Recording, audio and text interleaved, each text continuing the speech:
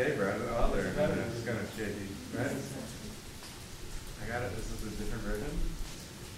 This is what we're on education. Oh, Uh, this is yeah. version two, third version, right? No, you know, after Friday or before, Oblique rotator. this Friday at two, that's one of I the know. six places where they have A minute or, or, or very good. I added a figure that actually does the, you know, the CDM power. Okay, I'll get it. I, I, get mine from the Cornell site, which I think is behind the, the, uh, or I get it from Los Alamos. I only added it.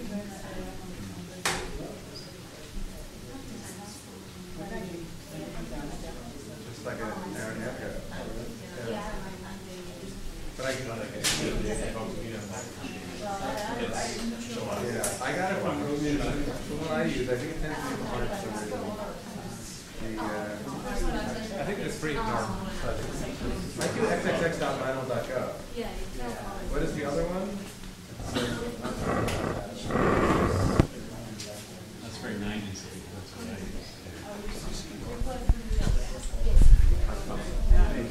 Still in uh, Europe. When you see there's a paper writing the Charlie, it said they can get that to FNL if you want. And then at the end, it must be online. And then at the abstract, they said they were rejecting FNL of like fifty fifty and Castro. Yeah, that was, uh, I think we can start Yeah, well, but no, this is just like, whatever. uh, Of course. It's supposed to hear this green about the sunset. This was- this was just like, low and low, it's sinking down. Okay, thanks for coming. We are pleased to have Anatoly Spitkovsky here, visiting from Princeton. Um, he got his PhD in 2002 in Berkeley, working with John Arons. Um, moved on to be at Caltech then as a Chandra Fellow, and moved then as an assistant professor to Princeton in 2006. He's going to talk about the physics of collisionless shocks. Uh, thanks a lot. Um, can you hear me back there? Okay. Uh, so, for those of you who weren't following the news for the last hour, Apple just released the latest iPhone. It has GPS. It has everything you ever wanted to have. It, will be released in Canada. So there. Okay. Uh, for all the other of you who are not Mac fans, um, let me talk about the physics of collisionless shocks. Uh, so I want to update you on the um, research, uh, the recent progress in uh, understanding collisionless shocks from first principles, uh, the heavily numerical research we've been doing um, at Princeton, and trying to uh, explain the uh, microphysics of what's going on behind the uh, mantra of collisionless shocks. They do everything for us in astrophysics, but how they do it uh, is a big question that I'll try to answer today. So, um, okay, let's see if this works. Ah. Okay, uh, I want to acknowledge my collaborators. Uh, okay.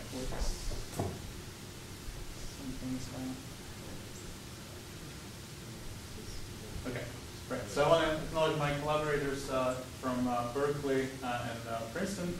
And um, so let's uh, quickly uh, explain the obvious. So the obvious is that I'm not going to talk about shocks like this.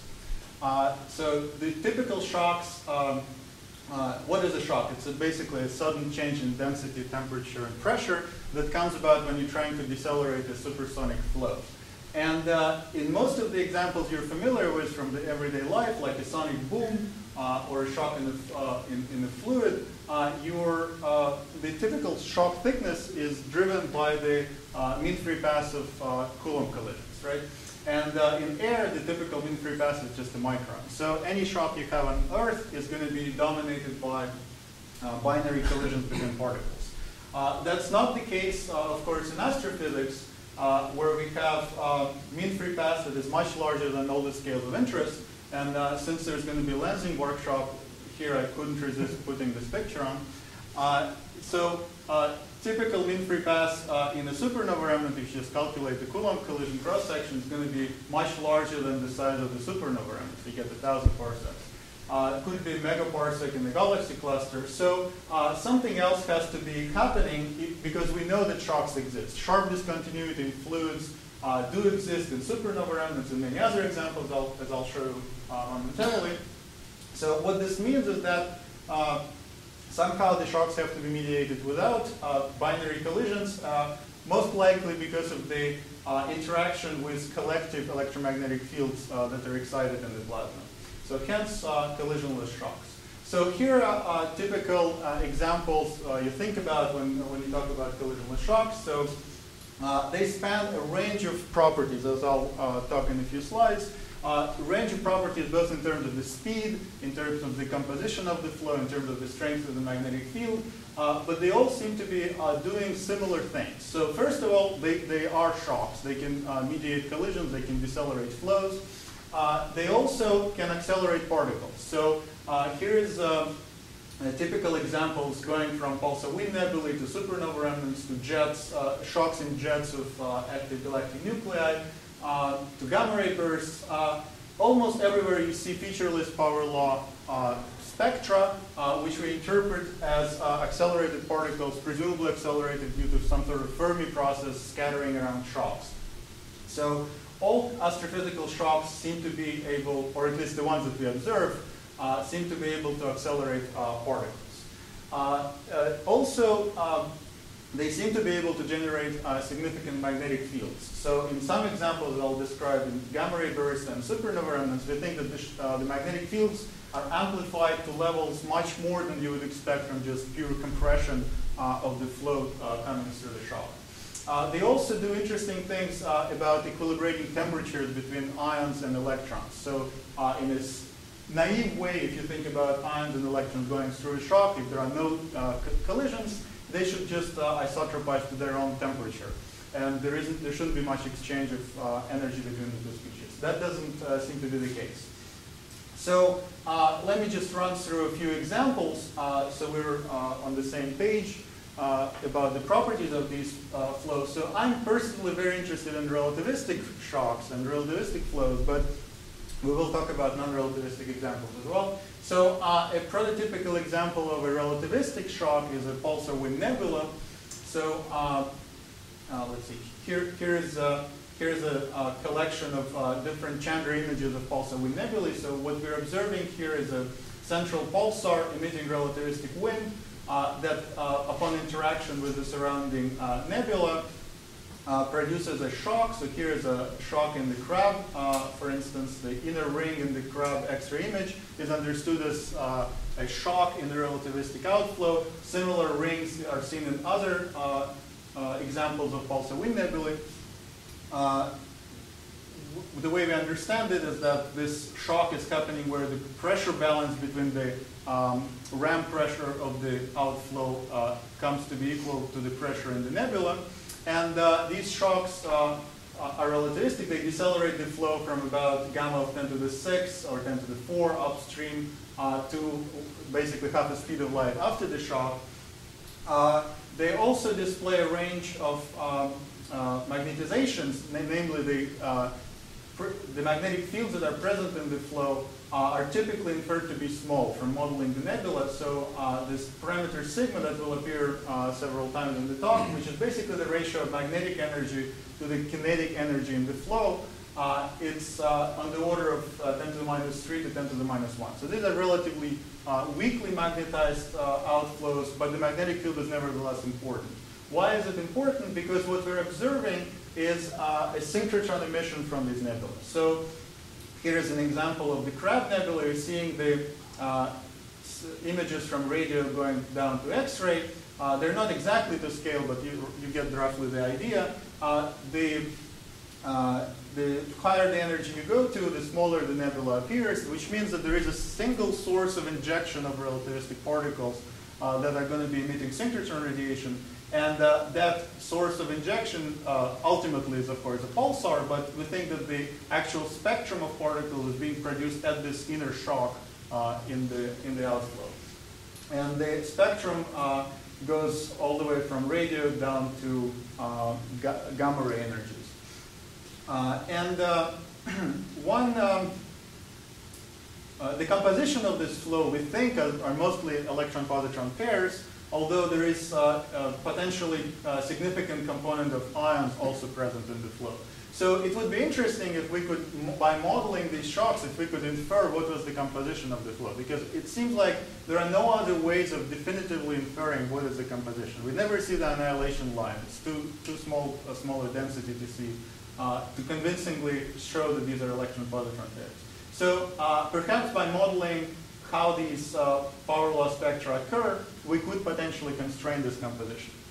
Uh, another example, uh, gamma ray bursts. So um, the to order picture for gamma ray bursts, as you uh, probably know, is uh, we have um, a, an exploding uh, massive star that produces a uh, ultra-relativistic jet that somehow escapes the confines of the star, and then the relativistic jet moving with gammas on the order of 100 uh, undergoes uh, internal shocks, uh, which um, shells of, uh, of matter collide together, produce internal shocks, and those shocks emit uh, gamma rays.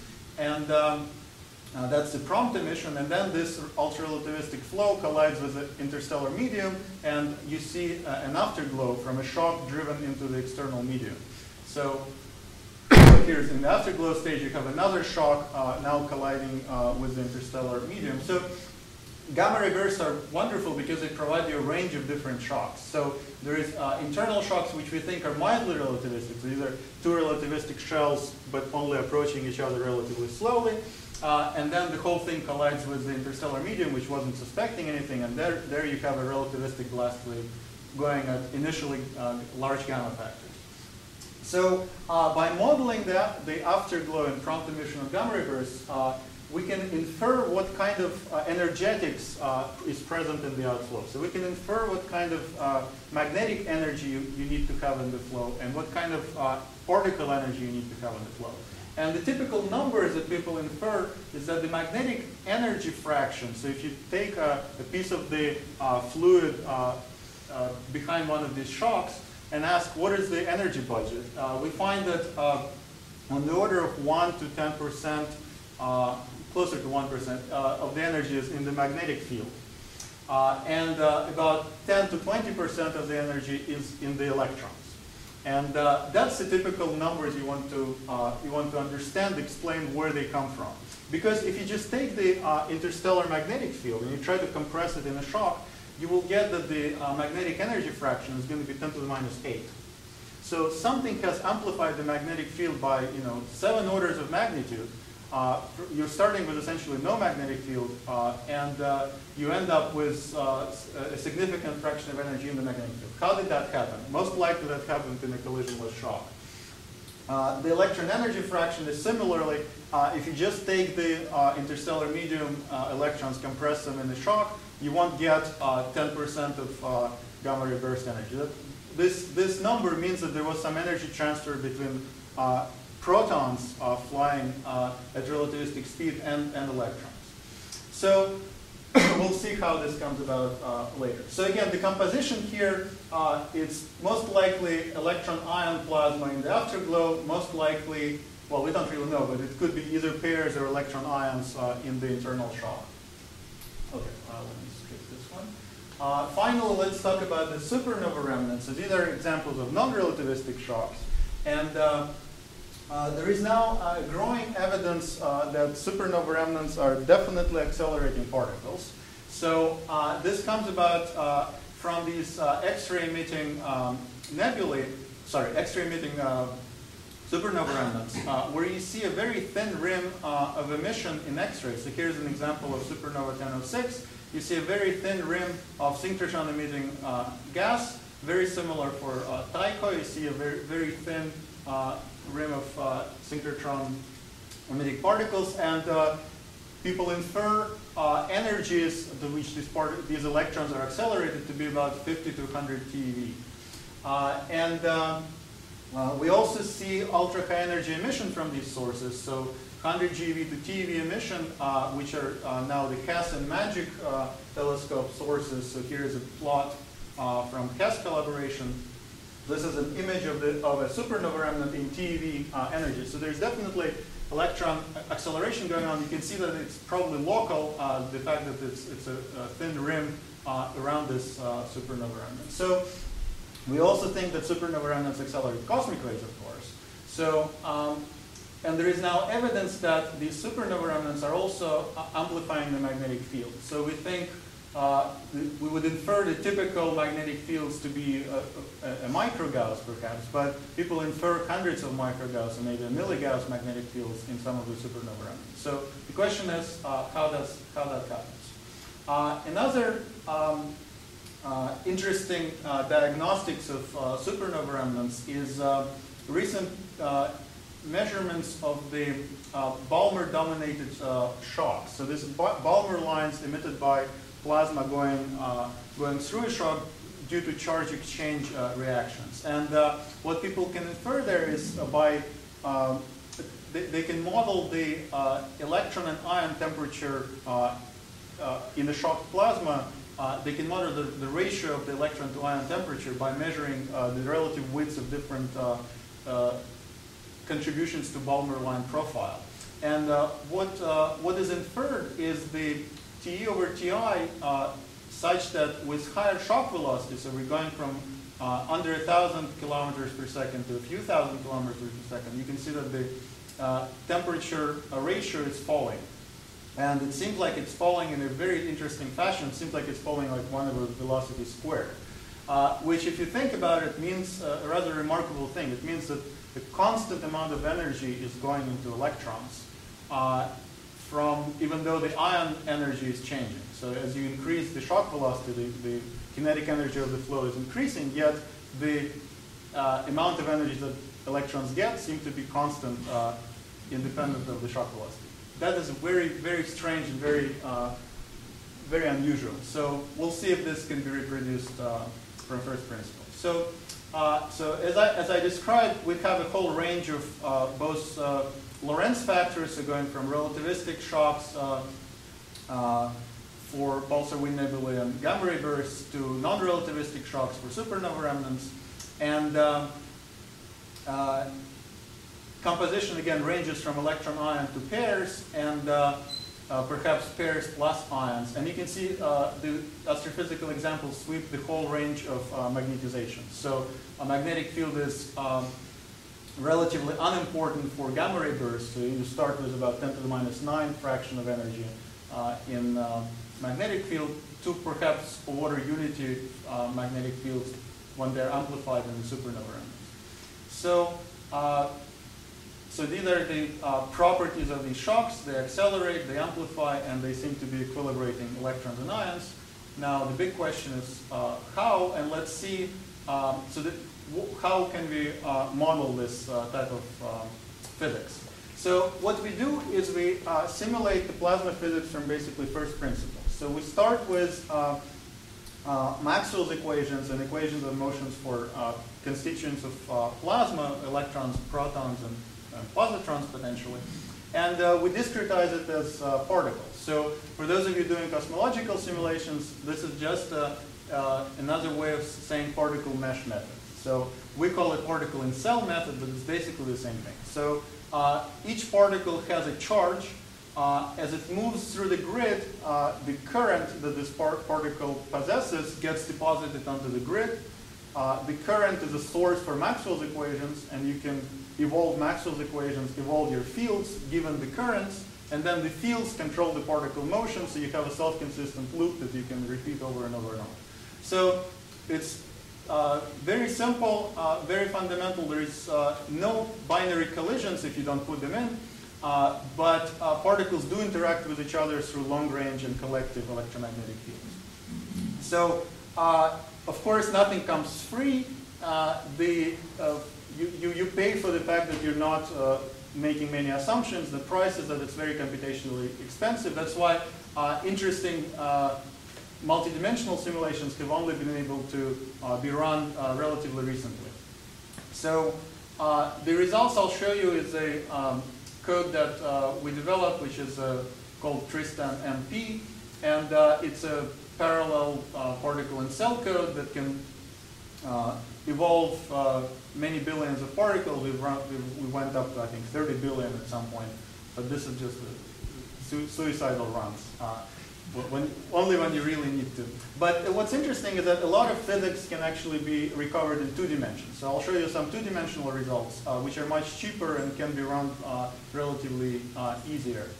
Okay, so uh, of course, uh, this is a complicated, uh, I mean, simple physics, but can, can become uh, complicated uh, uh, when you run uh, the full simulation. So it's, it's always the worry that keeps me up at night is whether I'm doing anything bad, whether this is completely wrong. So now there are other groups that are starting to produce similar results. So it's just a matter of time and large computers. But uh, the algorithm is basically solid, and we're, maybe all we're doing the same mistakes, but, but we're, we're converging onto the same answer. So, uh, well, that's the nature of this stuff, right? Just to make sure they're not reading your papers. They are. but that, that's, you know, that, that helps them to make, make, make it faster, right? Okay, so uh, here's a typical setup that I'm going to describe. So all we're really doing, we're taking a slab of plasma, actually two slabs of plasma, if you will, and we're colliding them together. Okay, but we're not allowing for binary collisions. We're just doing it in full plasma physics. And uh, uh, for relativistic uh, shocks, I'll typically be using uh, gamma of about 15, which is not too small and not too large. It's sort of mild. Uh, well, it, it's it's good good relativistic uh, so if, just from your hydrodynamical intuition, if you to collide uh, two shells like this, what you would get is a contact discontinuity and a shock propagating that way and a shock propagating this way. Depending on the dimensionality, if it's a three-dimensional uh, gas, you will have shock moving at c over 3. If it's a two-dimensional gas, it will be c over 2 uh, because the adiabatic index is different. Uh, so uh, in, this, in this simulation, uh, you would have a shock propagating through the domain, and this flow would be still incoming at roughly speed of light. Uh, now, of course, as you can see from here, I'm wasting uh, half of my computer resources because I'm going to be simulating two shocks propagating there and there. So why not just put a wall?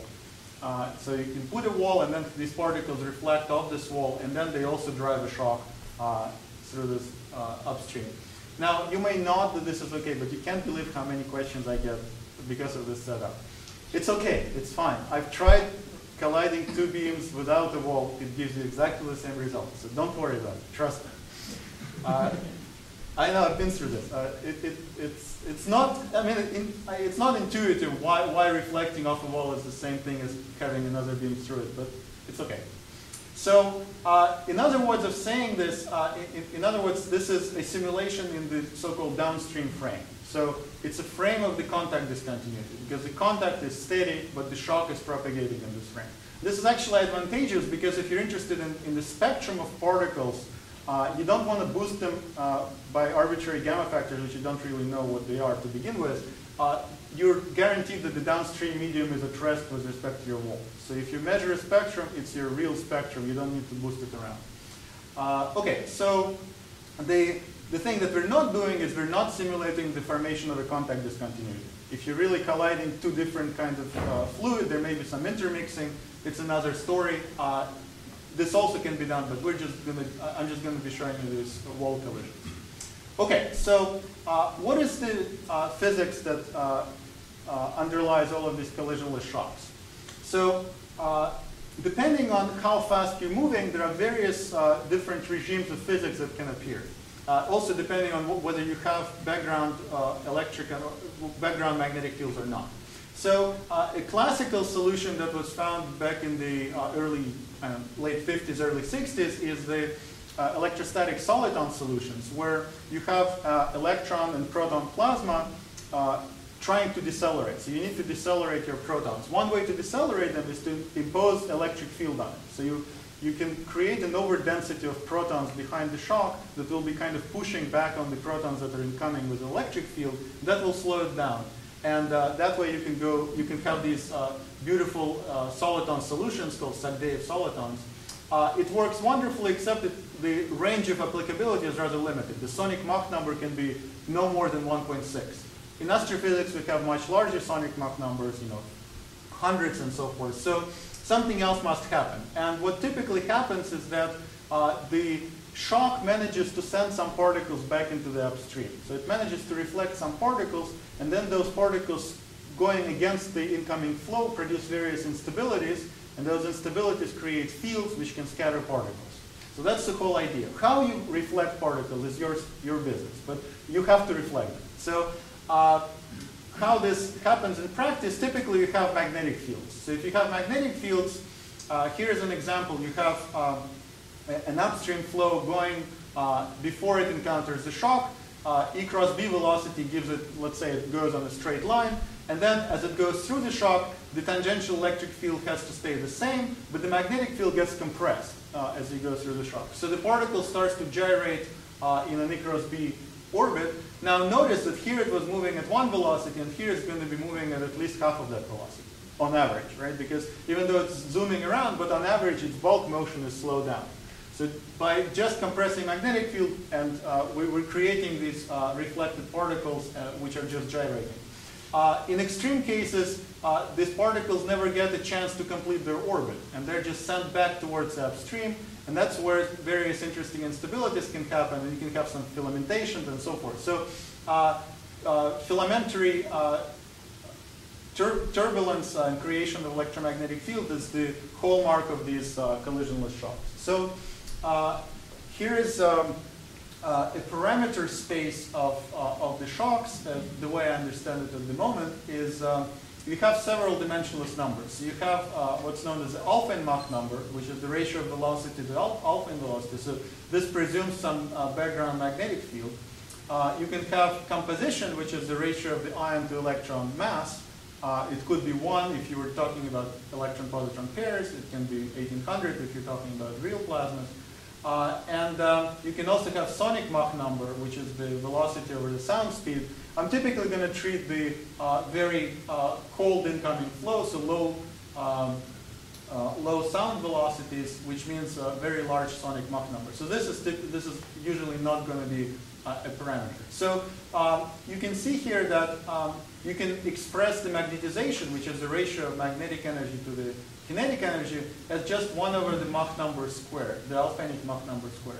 Another way to say it is it's the ratio of the uh, skin depth, which is the speed of light over the plasma frequency. It's a typical uh, scale in your plasma divided by the Larmor radius uh, of, your, of your particles. Uh, and, uh, or another way to say it is omega c over omega p, which is the cyclotron over the plasma frequency, times the uh, v over c, which is the velocity of your flow.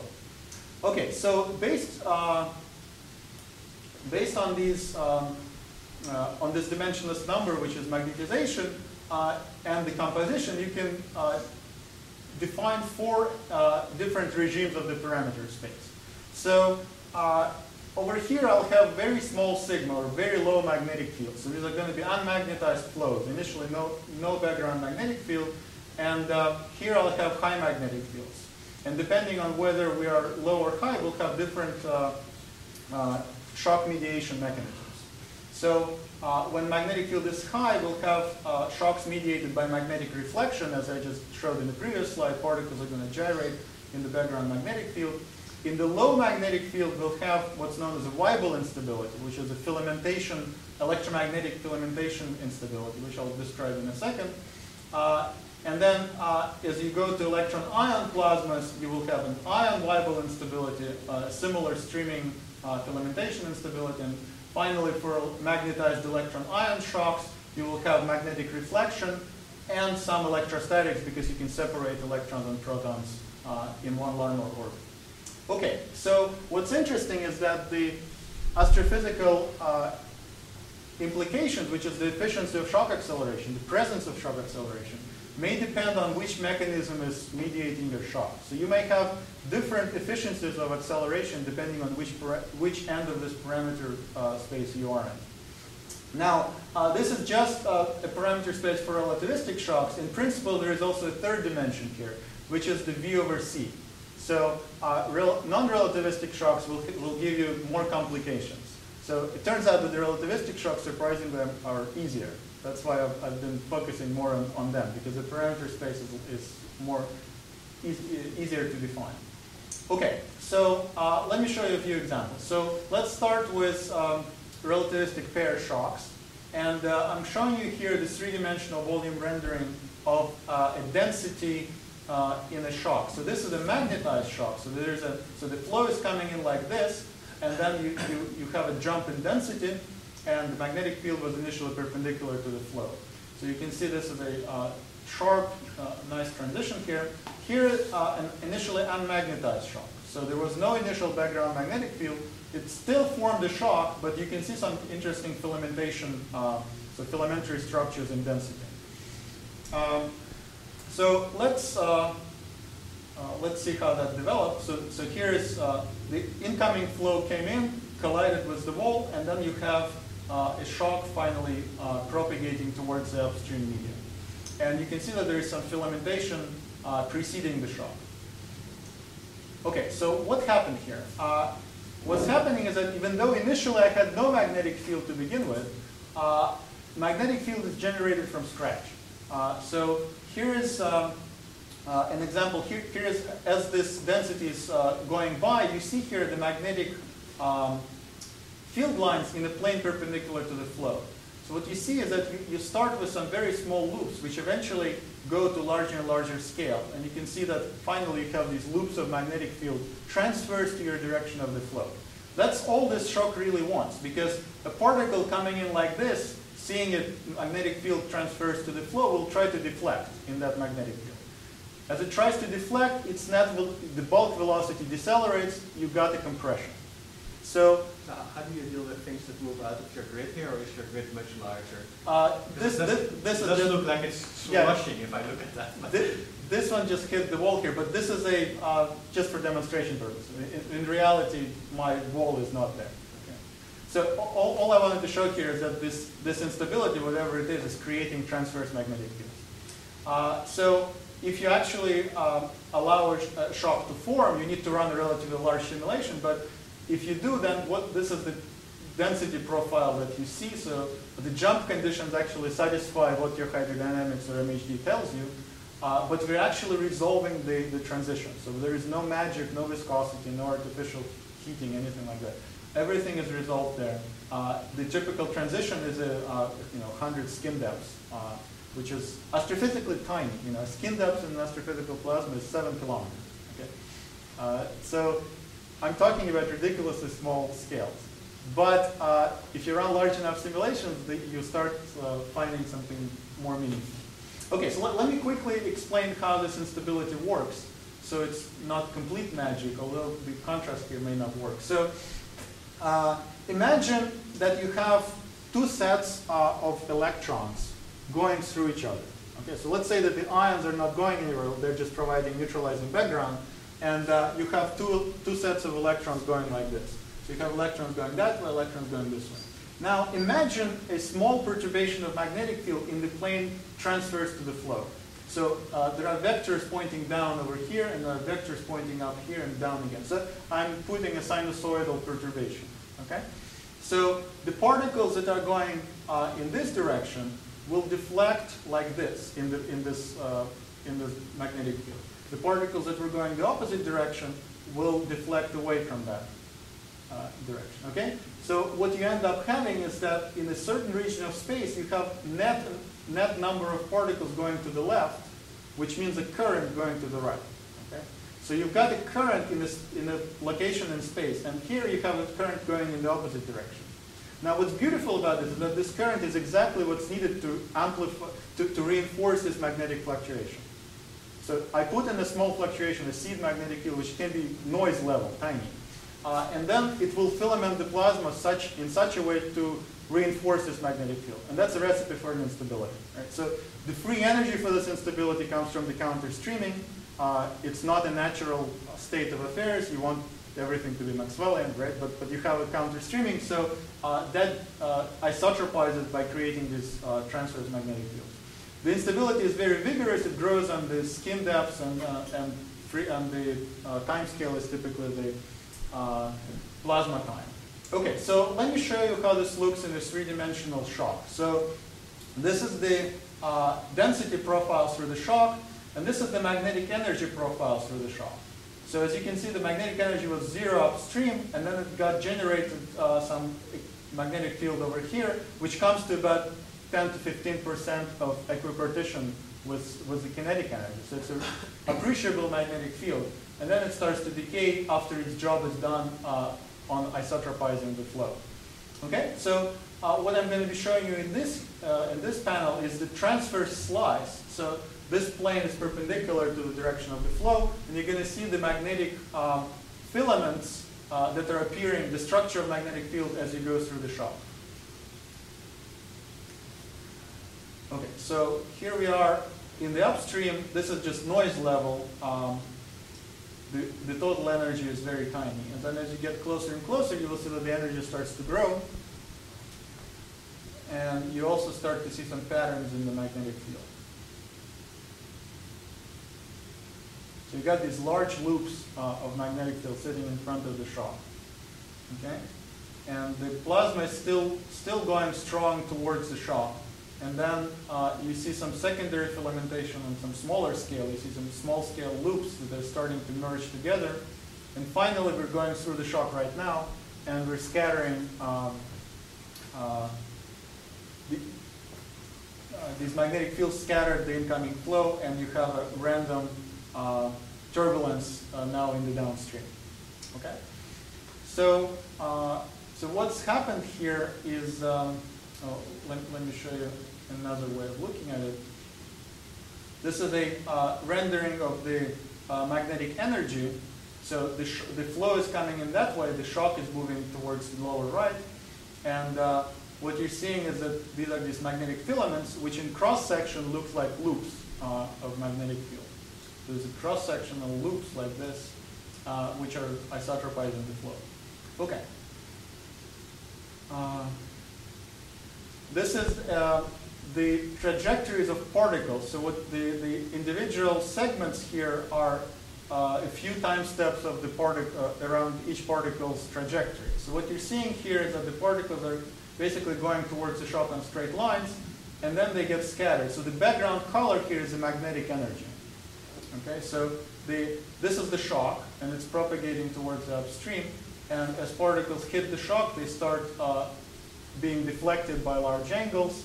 And uh, here, this is the downstream region. So uh, if I didn't show you the background magnetic field, it would look like the particles are colliding. It would look like their orbit is not really a straight line. It gets deflected quite a bit by this, by this collective magnetic field. So even though I'm calling it collisionless shock, it's really a misnomer. There are, there are collisions, but it's, it's just not collisions between particles. It's collisions with the generated magnetic field. Okay, now uh, uh, if you have a very sharp eye, you will see that there are some particles that are streaming towards the upstream. Uh, they're not really going with the flow, they're going sideways. And uh, there are very few of them, but they're very interesting. So uh, let me show you, uh, if you if you actually look in the logarithmic logarithmic bins of density, so, so, okay, so this is the density through the shock. This is the incoming flow. This is the shock flow. This is the profile of density. This is the profile of magnetic energy. Now what this is, is a phase space. So this is the x direction, uh, and this is the momentum of, of particles, uh, the x momentum of particles. So what this means is this, this beam uh, is the incoming flow. It has negative uh, momentum, it's going into the shock, and then it's isotropizing in the shock. But then look at this. These are particles with positive momentum, and they're in the upstream. What are they doing then? They're going towards the upstream from the shock. So the shock has reflected some particles, and they're going back towards the upstream. And that's what's generating the instability. So it's not the reflection of the wall. Right? The wall is well, well gone. Uh, the, this, this, is a self-propagating structure, and what's, what's making it work is the reflection of particles from the magnetic field that are self-generated in the shock. Okay, now let's look at the properties of these particles. They're very interesting. So if you look at the downstream spectrum, uh, you see uh, this is, so my, my initial flow had gamma of 15, okay? Uh, and uh, the downstream flow has thermalized mainly. So this, this, most of the particles have thermalized around gamma of 15, which is what you would expect if you just randomize their, their orbits without, uh, without changing their mean energy. So this is the this is the main thing. But then look at that. You also have a nice tail that's that's growing with time. So uh, these three lines show the time evolution. So you start out with something that looks like sort of Maxwellian, and then with time this tail grows to larger and larger energy. And uh, uh, the claim is, I claim that this is no longer fit by two Maxwellians. So at the very early stage, you could potentially fit it with two Maxwellians. If, you, if you give it more time, it looks more and more like a beginning of a power law. So uh, over time, this the two Maxwellian fit, which is shown here, is no longer fitting this distribution. So it looks like a power law uh, with about slope of 2.4 in energy. Uh, there is 1% of particles that end up in this tail, but what's really interesting is that they carry 10% of energy now. So by the end of your very large simulation, we build 10% of energy in, the, in these particles, and uh, that's now starting to modify the shock jump conditions, actually. So we're at the stage where the feedback of these particles is starting to become important. Now, uh, how did they get there? Uh, if you look at, so this is the um, uh, x direction, and this is time. Okay, so the particles, uh, and, and, and this is the location of the shock. Okay, so the particle is moving towards the shock initially, then it gets reflected in the downstream, goes, goes towards the upstream, gets reflected, and see it's, it's bouncing around the shock. And every time it's bouncing around, its gamma is increasing. So every time it gets it bounces it bounces in the over here, it gets kicked by the upstream flow, and uh, that kick gives a net change in, in gamma. So this is the fundamentals of the Fermi acceleration. So what's cool about this is that we have no assumption going, going into this simulation. There was no initial magnetic field, no initial turbulence, nothing. It, it all generated by itself. The magnetic field appeared, and then the returning particles caused the, uh, uh, caused the upstream turbulence, and uh, just a certain fraction of particles gets deflected into, the, into this Fermi cycle. Okay, so uh, this is a two-dimensional simulation. Uh, I've done some 3D runs, and the initial evolution is very similar. Of course, we can't run 3D for as long as we do in two dimensions, but the initial signature looks very similar. You start to grow the tail, and um, it seems like the injection works just as well. Now, uh, here is it. Actually, it could be, Yes. most of those products seem to be escaping out the back. Is that not, that's just, the- Um, okay, it was, right. do they so escape out the front as well? They do both, but most of them do end up in the downstream. So uh, the nature of these relativistic shocks is that uh, it doesn't take a large pitch angle for, for the shock to, to eventually catch up with the particle. So uh, even though these, these are, right now they're escaping, but they won't go very far. If they scatter a little bit, eventually the shock will, will, catch up with them.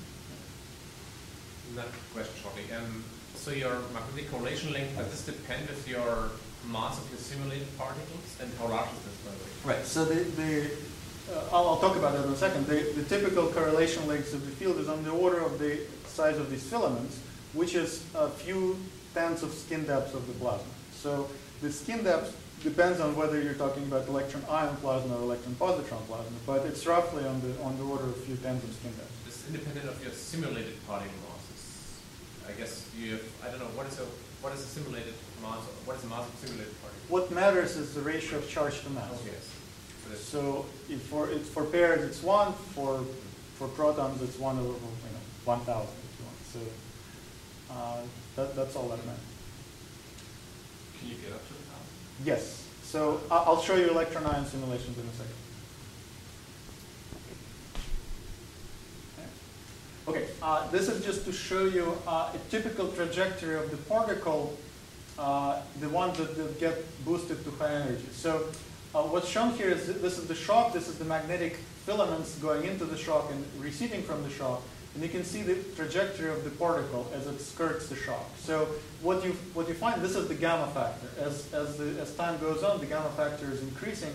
Uh, what you find is that the particles that get to highest energies, uh, they don't just bounce across the shock. They actually surf the shock. They, they kind of they try to go parallel to the shock norm uh, shock uh, face, basically perpendicular to the shock normal, And th- they try to sit on it as long as they can, just bouncing a little bit. The reason is that at the gamma factor they reach in the end, if they're to go perpendicular to the shock, they just cut through. They, they have enormous rigidity. So the way for them to increase effective optical depth of this, uh, of this magnetic field is to go sideways. And that's what I'm finding that there's a significant amount of uh, particles just kind of going, uh, trying to serve the shock. So would you expect that to be uh, larger in 3D then, because you have more phase space to go sideways? Then you have a curved shock well. It's hard to say. I'm not sure. I'm not sure. You- Naively, you would, you would, you would say so, right? But um, we'll see. We'll see. Okay. So, uh, so the bottom line on the unmagnetized shocks is that they do work. They do generate magnetic fields. The fields, that you saw, were decaying afterward. We'll, we'll come back to that in a second. But uh, they also seem to be generating interesting accelerated particle population. Okay, now let's talk about magnetized shocks. So uh, again, it's only pairs for now. Uh, we have, uh, this is the momentum space that the particle comes in and then it starts gyrating as sort of the way I described before. So there is now significant magnetic field and you see, uh, you see these gyrations. Eventually those gyrations become randomized and you, you, you, you thermalize downstream. Uh, and uh, the spectrum downstream looks very, very Maxwellian. So as, for as long as I've run it with a perpendicular magnetic field, nothing happens. It doesn't seem to accelerate anything. Uh, We've done it in 2D, in 3D, it doesn't seem to, to matter. So the conclusion at the moment is that magnetized pair shocks are lousy accelerators. So they don't seem to be doing much, which puts an interesting constraint on some astrophysics. We'll get to that later. Uh, now, we've also tried uh, with uh, Lorenzo Sironi, who's a grad student at Princeton, we tried to uh, change the angle between the magnetic field and the flow. So uh, what, what I showed you was perpendicular flow, perpendicular magnetic field, but now let's, let's change this angle. So here's the uh, distribution uh, for a 45 degree. This is a relativistic shock with gamma of 15, okay? So 45 degree inclination like this gives you essentially a Maxwellian uh, distribution, so no acceleration. Zero degrees gives you a nice tail. Okay? But what's curious is that as you go to 15 and 30 degrees, the tail becomes even more pronounced. And then you go 31, 32, and it's cut, it cuts off. Like the, transition is almost instantaneous. Uh, why that happens is because the shock goes from the subluminal to superluminal, which means that the, in order for the particle to catch up with the shock, it has to move superluminally along the magnetic field at some angle. So if you, if you tilt the angle too far, like 90 degrees, if- if you go along the field, you will never catch up with the shock, right? So there is a critical angle, which here it happens to be around 30 to 30 degrees, at which point this transition happens and uh, acceleration rapidly cuts off. The reason why there is more for 15 and 30 degrees is that uh, there is a phenomenon called uh, shock, s- shock drift acceleration, uh, which is, uh, so in addition to Fermi bounces, there are some particles that can spend one half of their Larmor orbit on one side of the shock and another half of their orbit on the other side of the shock, and they can get even more energy that way. So uh, it seems like the oblique shocks also can accelerate, except you have to be within a certain angle range. Now, the interesting thing is that uh, astrophysically, this angle range is rather boring because um, if you consider it from the point of view of the upstream flow, the, ma- the magnetic field gets boosted but to basically 1 over gamma.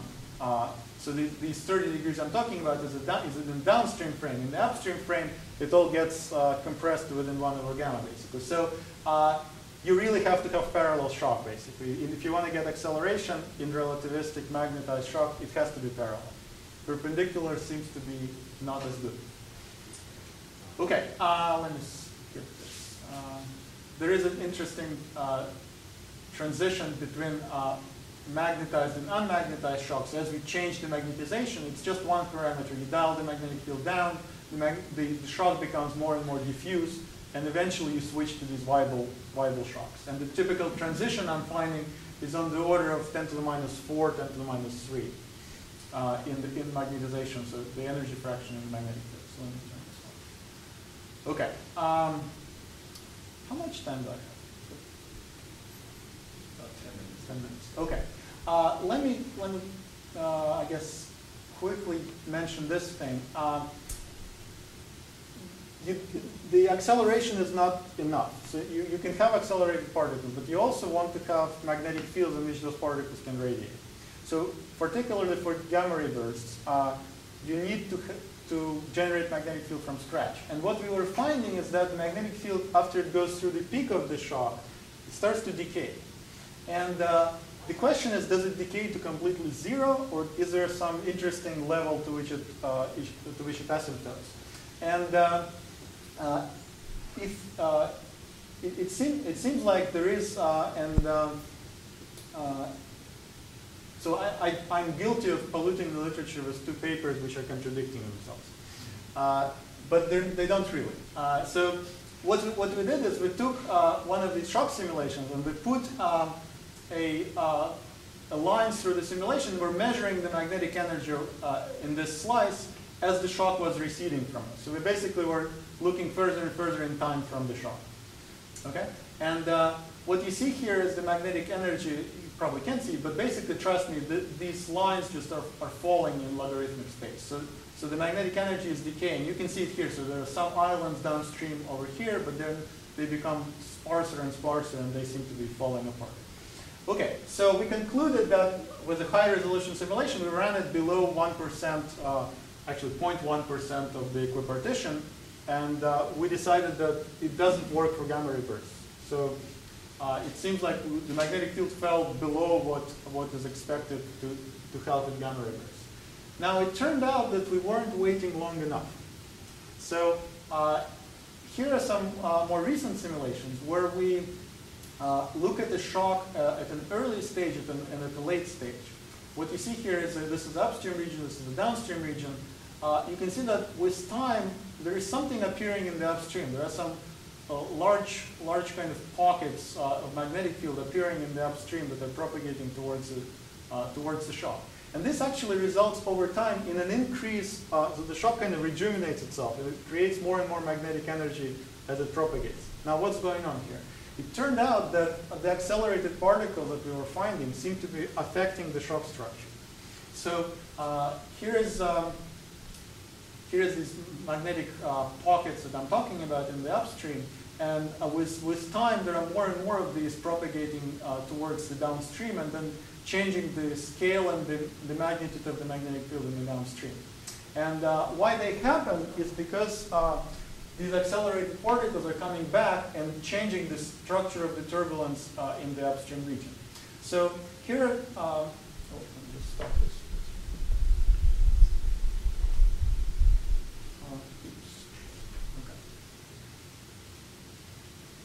Um, here's a simulation uh, which artificially turned off the, uh, the, accelerated particles. So this is the magnetic energy uh, in the upstream and the downstream, and uh, this simulation retained the accelerated particles. So you can see that when there are accelerated particles present, the structure of the upstream turbulence dramatically changes. So you seem to be amplifying more and more magnetic field with these accelerated particles, and then they propagate and change the uh, the structure of the field downstream. So it seems like at the moment, uh, we, if we wait long enough, the, these accelerated particles can bring the field up at least to 1% of the equipartition.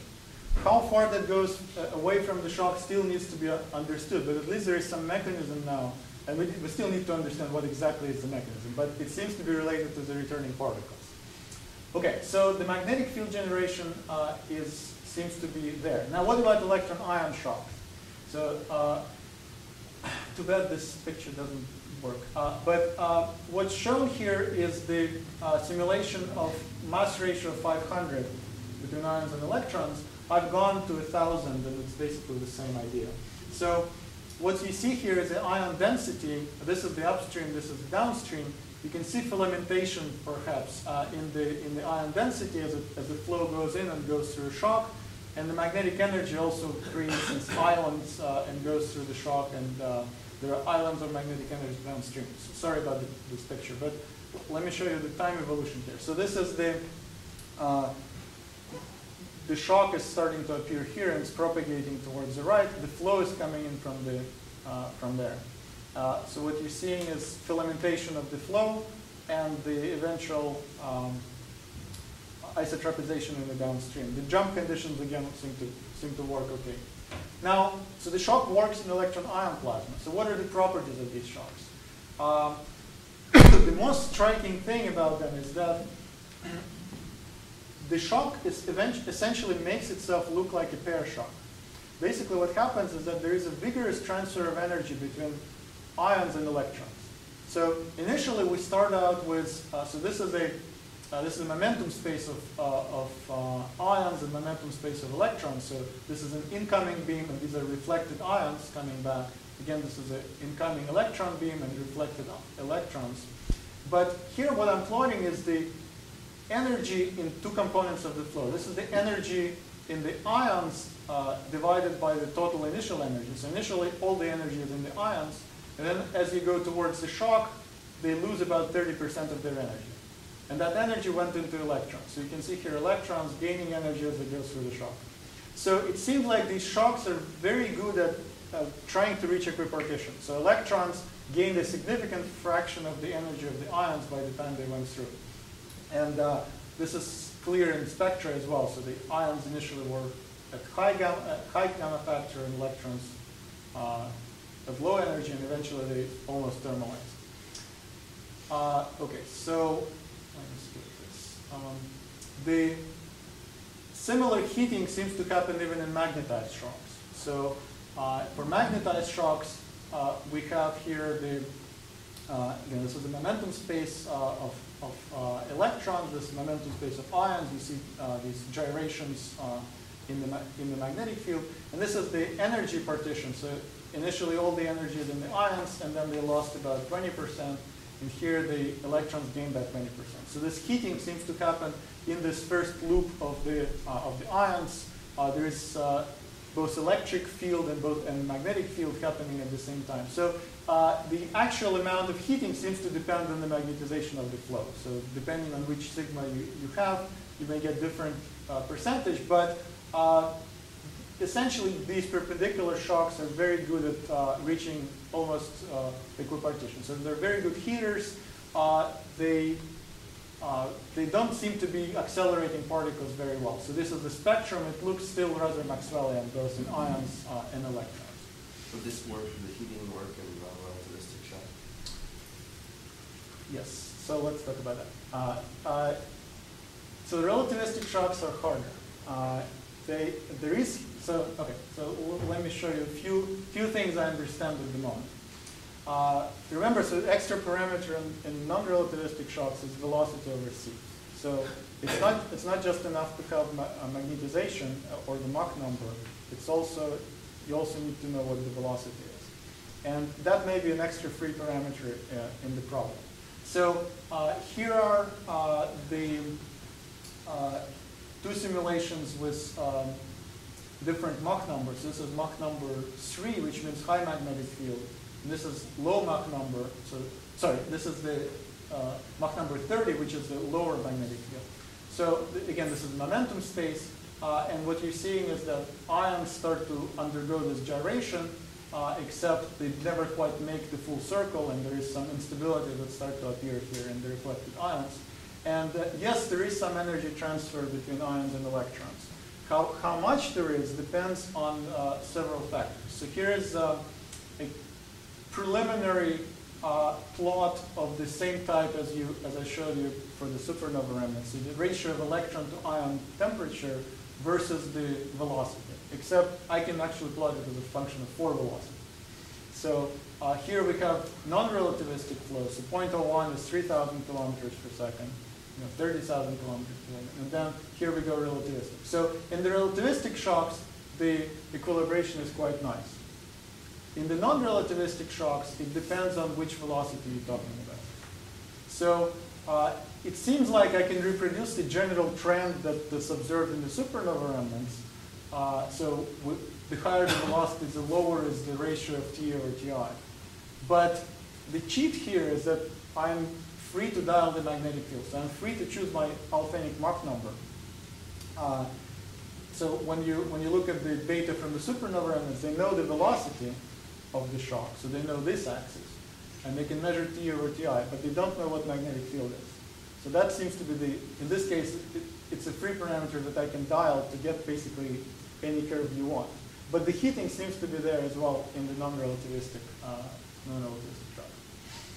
So, um, That's not, not what you need, I mean, their transition happens at 300 kilometers per second, so another full order of magnitude lower, right? If I remember their curves right. It's like Right, so- 400. So we, that's, that seems, you would go to, I mean, if I see your curves, you, you, you can't quite go there.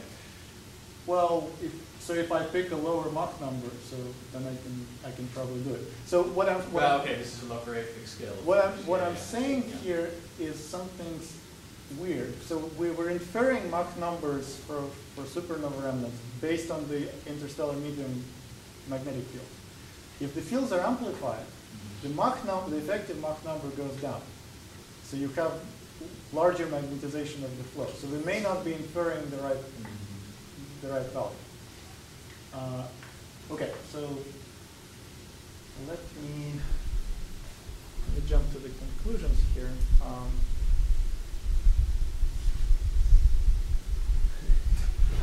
yeah, so sorry, th- this was one of the turbulence runs that we, we had uh, in uh, generation of magnetic fields upstream of the shock, and it gave me this, and I, I was I wanted to scream. um, okay, well, let me let me recap here. So. Uh, this is the uh, general parameter space that we discussed. Uh, we have um, uh, mediation mechanism going from magnetic reflection to filamentation instabilities uh, to perhaps combination of uh, electrostatic and magnetic reflection. Uh, and um, the conclusions at the moment seem to be that there is no Fermi for the magnetized shocks. There is Fermi injection for the unmagnetized shock, and there is some Fermi injection for oblique relativistic shocks. Uh, in the electron ion case, doesn't seem to be doing anything for the perpendicular magnetic fields. So the way it could have potentially done it, if the, if the turbulence downstream was so big that uh, the shock was just too turbulent, then the particles could potentially cross the shock, even if it was superluminal. But the intrinsic turbulence level doesn't seem to be enough to do that. Um, and uh, for electron ion shocks, for uh, unmagnetized electron ion shocks, there seems to be both Fermi injection and electron heating. So let me conclude with a few applications to, to astrophysical scenarios at the moment. So uh, we talked about the, that the pair shocks seem to be accelerating well when they're at low magnetization. So perhaps this is a uh, sign uh, about the pulsar wind nebulae. So in pulsar wind nebulae, what we, we we see this equatorial uh, shock, which happens where this uh, alternating current sheet of the pulsar wind gets uh, interacts with the supernova remnant. And uh, in this uh, alternating uh, current sheet, there could potentially be magnetic reconnection that happens. As the flow gets further and further from the pulsar, it gets towards the shock, uh, there could be pot- potential magnetic reconnection. So you end up with a lower effective magnetic energy in the wedge uh, surrounding the equatorial region of the pulsar. And that, that would be consistent with these shock, shock simulations because that would imply that this inner equatorial wedge has a lower magnetization that, uh, than perhaps the rest of the nebula. Uh, in that case, I can see how it can accelerate particles uh, efficiently. Uh, in other uh, applications uh, for gamma ray bursts, so gamma ray bursts seem to be uh, very easy to explain now because the very low magnetizations that people infer uh, in the afterglow uh, emission is very good for accelerating particles. So it seems like we can both amplify the field and accelerate particles. Uh, what's also important is that the, we see this exchange of energy between ions and electrons. So the 10% uh, of energy fraction in electrons that people infer seems to be uh, consistent with the shock simulations. Uh, I can talk to you about the mechanism how electrons get heated. I'm running out of time. We can talk later. Uh, the, uh, the magnetic fields near 1% are perhaps, perhaps also not unreasonable because this self, self-accelerated uh, particles uh, interacting with upstream medium seem to be able to sustain longer, larger scale magnetic fields. Now, implications for AGN jets are that uh, if you think that the AGN jets are consi- consisting of electron-positron flow with transverse magnetic field, good luck making them shine. I don't know how to do it. they don't seem to be accelerating anything. So I, I would argue that they must have magnetic field somehow parallel to the direction of the flow. Some, how, how they do it, I don't know. Perhaps it's some sort of a, a shearing flow in- or sheath flow or something like this. But just a plain perpendicular magnetic field doesn't seem to work for electron positron shocks. Uh, for supernova remnants, um, again, this uh, parallel magnetic field never hurt anybody, so it seems like having a more parallel magnetic field the better as, as far as the particle acceleration is concerned.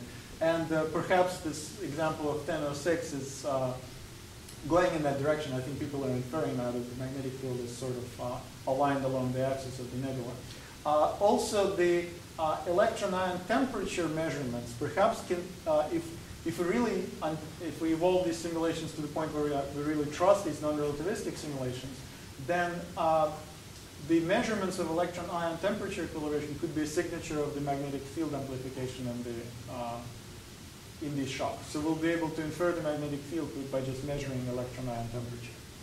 Okay, and just to conclude, uh, we're now at a stage where shocks are routinely reproduced in the, uh, on the computers, uh, and uh, we now understand uh, at least relativistic shocks. Non-relativistic shocks are perhaps harder to understand, but we'll get there eventually. Uh, the exciting thing is that we see this uh, self-consistent injection of particles into, into the Fermi process, and the efficiency of 1% and the energetics of about 10% is not contradicting anything we know about astrophysics. So that's, that's good. Um, the um, the fur- further work uh, is centering right now on understanding the amplification of magnetic field due to these backstreaming particles and how interaction of cosmic rays with the upstream can change the, uh, the, uh, the magnetic field. Uh, there are interesting instabilities right now. Uh, one of them is called Bell's instability, where the uh, backflowing protons can actually change the magnetic field in a, uh, in a non-trivial way. So we're trying to simulate that as well, and it seems to be uh, a good, good instability seems to be able to amplify a significant amount of magnetic field. I didn't talk about that, but uh, I'm happy. I'm around tomorrow. We can we can talk more. Okay, thank you.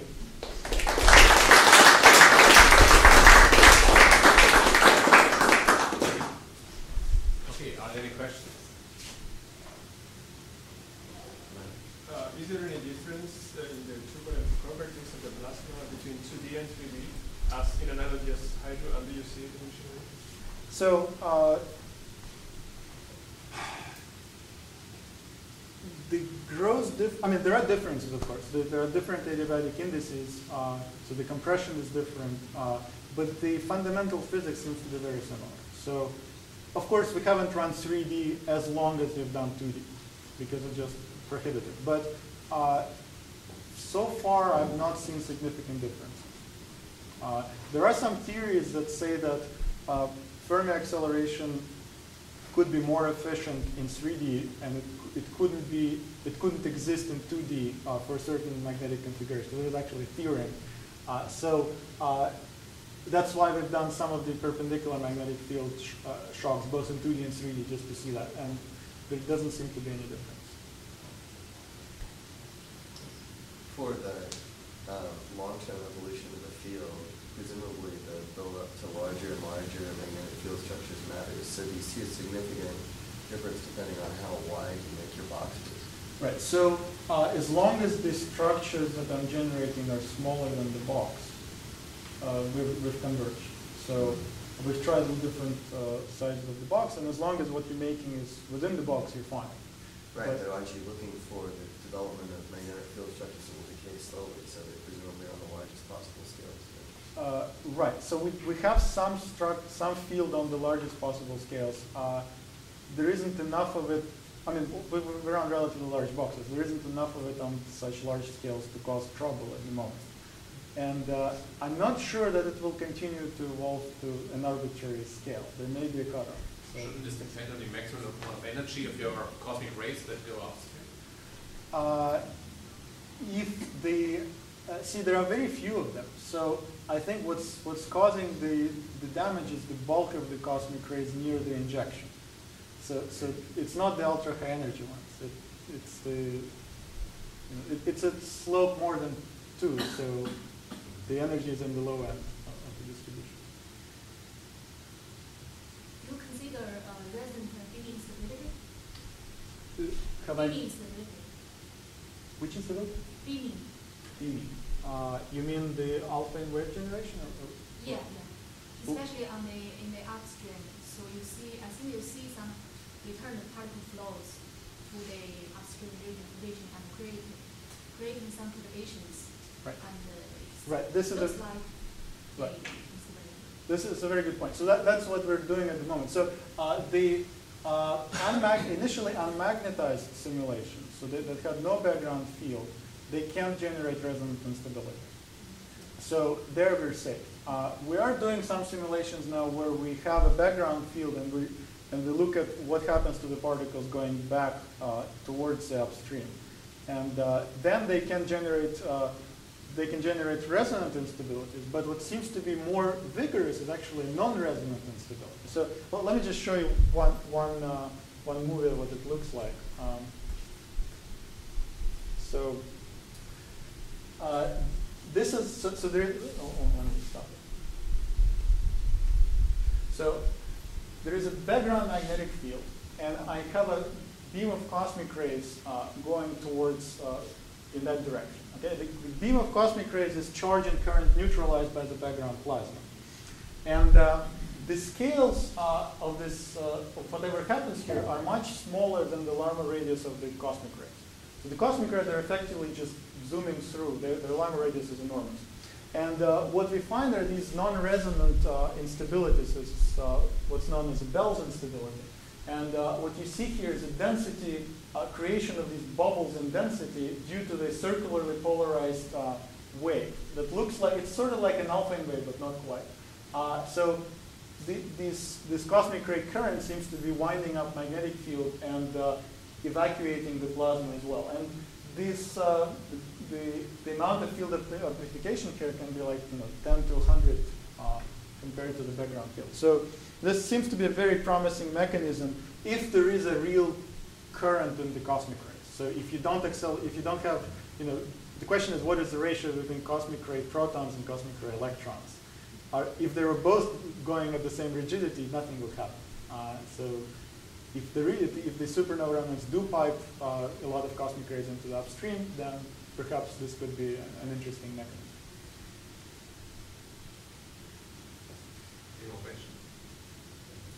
You know, thank the speaker again.